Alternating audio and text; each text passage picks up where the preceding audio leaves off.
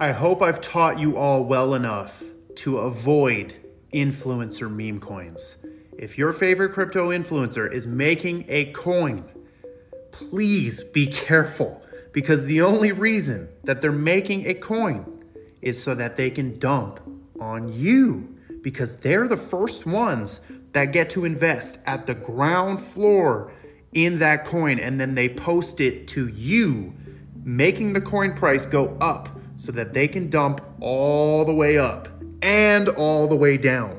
Because as I've explained a million times on my page, the creators of crypto tokens are the richest people in this industry. You're not going to get rich just investing and just holding random cryptos. It's the founders, the people who create these tokens that get rich. And that is why influencers now and I'm referencing influencers as some external thing. No, I am also a crypto content creator. I will never launch a coin.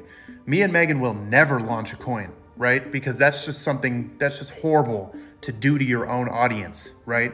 However, I want you guys to know that they delegate their own holdings at the beginning, right? And if they say they didn't, bro, they used anonymous wallets and simply purchased the coin as early as possible because they made the freaking coin.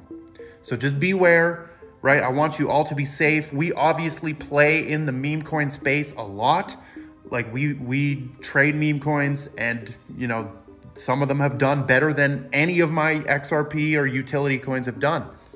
Uh, and this is something that has expanded in my mind since 2021, right?